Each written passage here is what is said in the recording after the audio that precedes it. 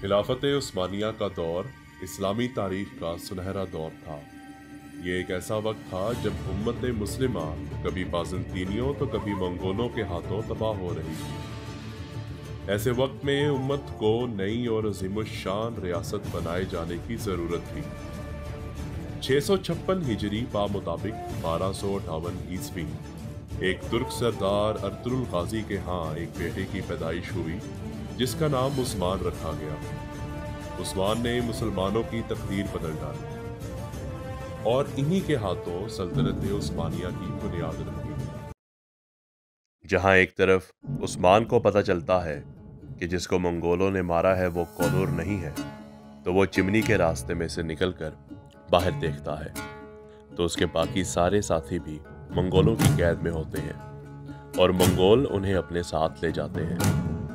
वहीं दूसरी तरफ़ बहादुर भी किले में आ जाता है और बालगाय के सिपाहियों को मारकर उसके सामने आता है और बालगाय को ललकारता है कि आओ और लड़ो मुझसे।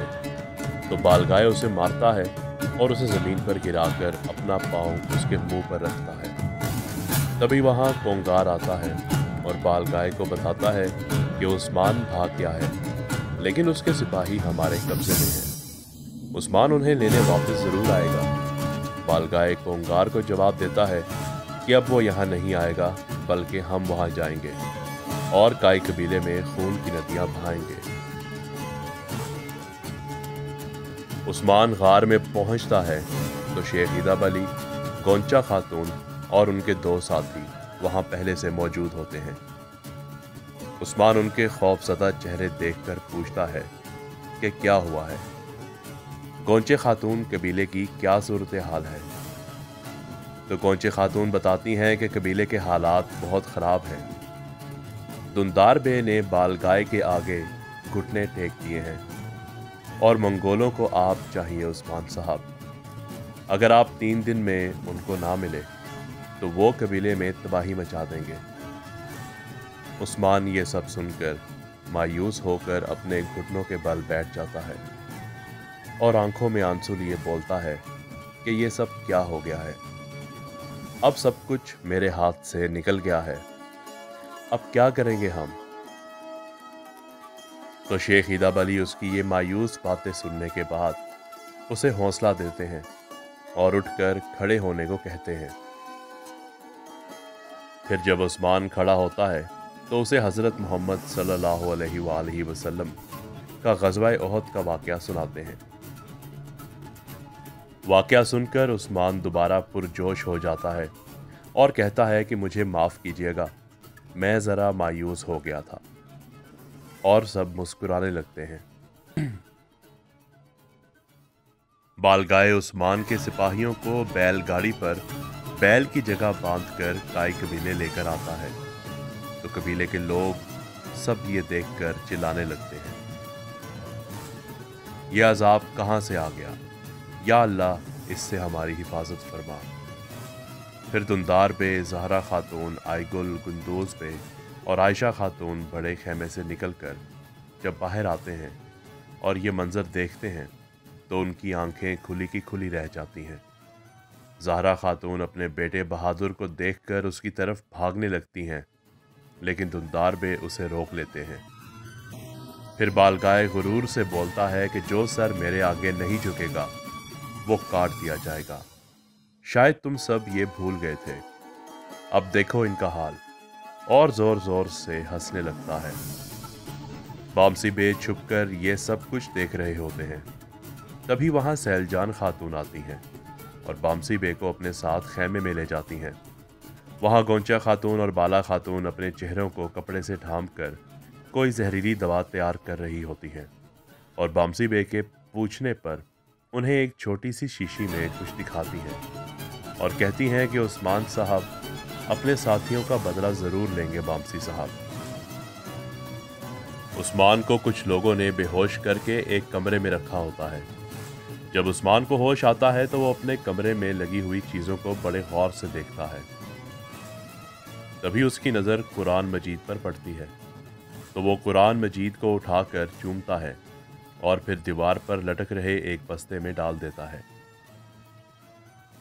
फिर उस कमरे से बाहर निकलकर एक बड़े कमरे में जाता है, जहाँ कुछ लोग पहले से बैठे होते हैं और उस्मान जाकर उनके दरमियान में बैठ जाता है। तब उनमें बैठा सबसे बड़ा आदमी उस्मान से कहता है कि हम मंगोलों के खिलाफ तुम्हारी मदद करने के लिए आए हैं। और फिर उस्मान को एक संदूक देते हैं, जिसमें मंगोलों के खिलाफ इस्तेमाल होने वाला हथियार होता है। उस्मान वो लेकर वहाँ से रवाना हो जाता है।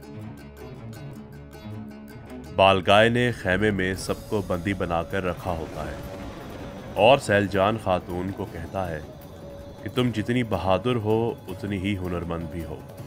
ये साबित करो। जाओ और जाकर मेरे और मेरे साथियों के लिए खाने को कुछ लेकर आओ। तो सैलजान खातून इनकार कर देती है। इनकार सुनकर बालगाय को गुस्सा आ जाता है और वो बहादुर की गर्दन पर खंजर रख के कहता है कि अगर तुम ना गई तो इसे मार दूँगा। तो सैलजान खातून चीख कर कहती है कि नहीं, उसे छोड़ दो, मैं जाती हूँ। फिर सैलजान खातून खाने की थाल तैयार है उसमें रखी दूध की प्याली में बाला खातून और गोंचा खातून का बनाया हुआ जहर खोलकर बाल गाय को दे देती है। लेकिन जैसे ही बाल गाय उसे पीने लगता है तो उसे कुछ शक होता है। तो बाल गाय वो दूध की प्याली सैलजान खातून को ज़बरदस्ती पिलाने की कोशिश करता है। अब क्या बाल गाय जहर सैलजान खातून को पिला देगा? और ये जानने के बाद कि सैलजान खातून ने उसे मारने की कोशिश की है तुम सबका क्या हाल करेगा? जानने के लिए देखते रहिए कुरलुस उस्मान कार्टून सीरीज़।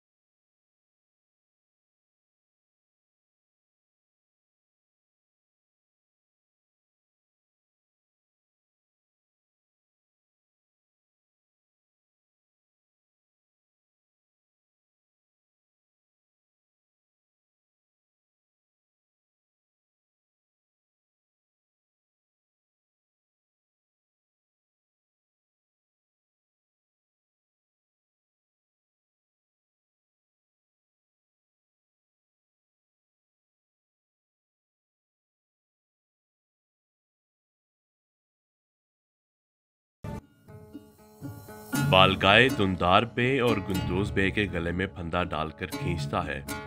तो दुंदार बे अपनी और गुंदोज बे की जान बचाने की खातिर, गुंदोज बे के मना करने के बावजूद बालगाय की अतात करने के लिए तैयार हो जाते हैं। तो बालगाय दुंदार बे से कहता है कि तुम्हारी अतात का तब पता चलेगा जब तुम उस्मान को मेरे पास लेकर आओगे। और अगर तीन दिन में तुमने ऐसा नहीं किया तो मैं इस दुनिया से तुम्हारे कबीले का नामो निशान मिटा दूँगा। फिर बालगाय तुमतार पे और गुंदोज पे को वापस काई कबीले भेज देता है। बालगाय का आदमी कोंगार अपने मंगोल सिपाहियों के साथ बाड़ा बाज़ार पर हमला कर देता है, ताकि शेख ईदा बली को अगवा कर सके। शेख ईदा बली खातून और गोंजा खातून बहुत ही बहादुरी के साथ मंगोलों का सामना करते हैं। लेकिन फिर मंगोल सिपाही उन्हें घेर लेते हैं और शेख इदब अली के सारे साथी शहीद हो जाते हैं। फिर कोंगार के कहने पर जैसे ही एक सिपाही बाला खातून पर हमला करने लगता है, तभी उस्मान और उसके साथी हमले की जगह पहुँच जाते हैं। और शेख इदब अली, बाला खातून और गोंजा खातून को वहाँ से निकाल कर ले जाते हैं। लेकिन कोनूर कोंगार के हाथ लग जाता है और कोंगार उसे अपने साथ ले जाता है। सोफिया सिद्दीकी को उसे गद्दारी करने के जुर्म में, जिंदार में कैद करके उस पर जुल्म कर रही होती है। उसको इतना मारती है कि वो आधा होश में होता है और आधा बेहोशी में। फिर सोफिया सिद्दीकी से पूछती है कि आखिर उस्मान क्या चाहता है तुमसे? बताओ मुझे और अपनी ज़ुबान खोलो। लेकिन सिद्दीकी कुछ नहीं बोलता। तो सोफिया उसकी ज़ुबान खुलवाने के लिए एक एक करके उसके सारे नाखून उखाड़ देती है और सिद्दीकी दर्द से चिल्लाने लगता है। और सोफिया से कहता है कि उस्मान चाहता है कि मैं उसको यहाँ की खबर दूँ। तो आप जो बोलेंगी, मैं भी वही खबर पहुंचाऊँगा उस्मान को। फिर हेलन सोफिया के पास आती है और उसको एक खत देती है। सोफिया उसे पढ़कर हेलन से कहती है कि यह आली शार का खत है। मंगोल सरदार बालकाए हमारे मेहमान बनेंगे और इस सिद्दीकी से तो अब यानीज ही बात करेंगे। फिर वो दोनों वहाँ से चले जाते हैं। आलिशार बालगाय से मिलने आता है और उसे कहता है कि कुस्तुन दुनिया हासिल करने के लिए उसे सोफिया से मिलना होगा। वो इतनी बेहया औरत है कि अपनी ज़मीनों की खातिर वो अपना नसब तक बेच सकती है। अब वही है जिसके ज़रिए आप अपना मकसद हासिल कर सकते हैं। इतने में वहाँ कोंगार आता है और कहता है कि उस्मान ने आलिशार साहब के लिए एक हदिया भेजा है। और फिर कोंगार निजामुद्दीन की लाश को खींचकर उनके सामने रख देता है।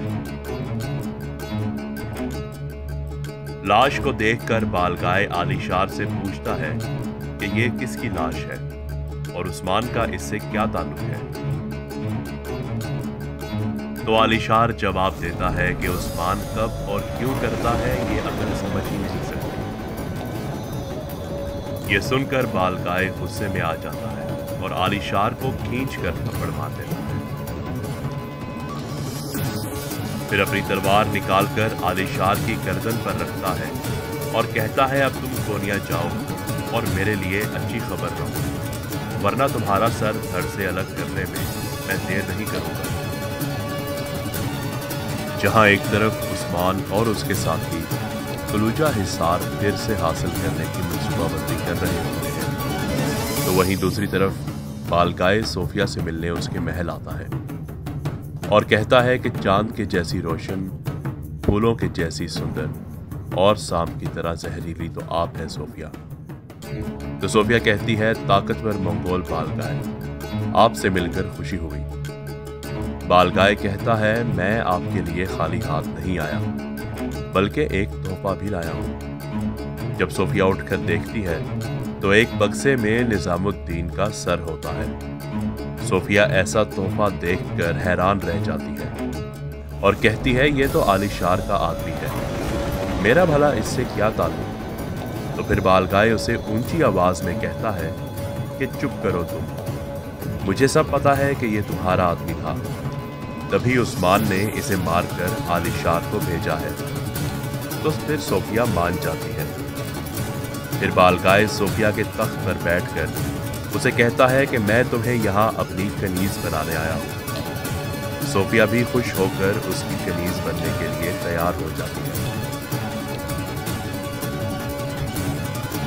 सैलजान खातून और आयशा खातून खैमे में बातें कर रही होती है कि दुंदार सारा इल्ज़ाम उस्मान पर डाल रहा है। सिर्फ़ इस वजह से कि उस्मान ने बालगाय की अतात नहीं की।